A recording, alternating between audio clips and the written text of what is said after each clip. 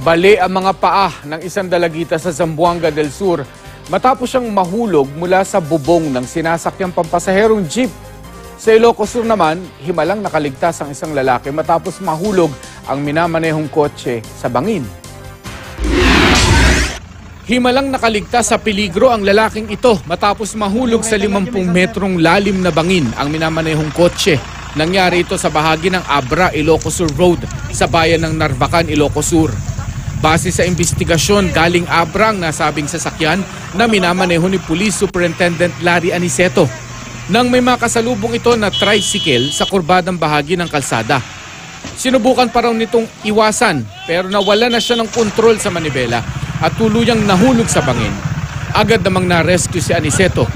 Sa bayan naman ng San Nicolas sa Ilocos Norte, idiniklarang dead on arrival sa ospital ang lalaking ito na kinilalang si Avelino Antonio Jr. matapos siyang mabangga ng van. Kwento ng driver ng van, hindi raw niya napansin na tumawid ang biktima. Sa lakas ng impact, nabasag ang windshield ng van kung saan tumama ang ulo ng biktima. Agad namang sumuko ang driver at sinubukan niyang makipag-ayos sa pamilya ng biktima. Huminto yung truck, sir. Relasan ko ng preno, tapos tatakbo sana kami, sir. Pero nung tatakbo na kami, sir, biglang tumawid yung tao, sir. Tapos tumalon, sir. Kaya na tumama sa windshield, sir. Sabi ko lang sa kanila, sir, yung mga kapamilya na, hindi naman po sinasadyang disgrasya. Eh, Willing naman po kami na tumulong, sir.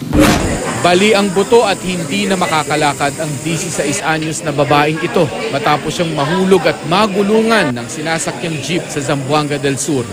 Base sa investigasyon, dahil puno na ang jeep, sa bubong na umano pinasakay ang biktimang kinilalang si Jean Ambukay kasama ang iba pang pasahero. Pero habang nasa biyahe, bigla umanong pumreno ang jeep at nahulog ang biktima sa harapan nito.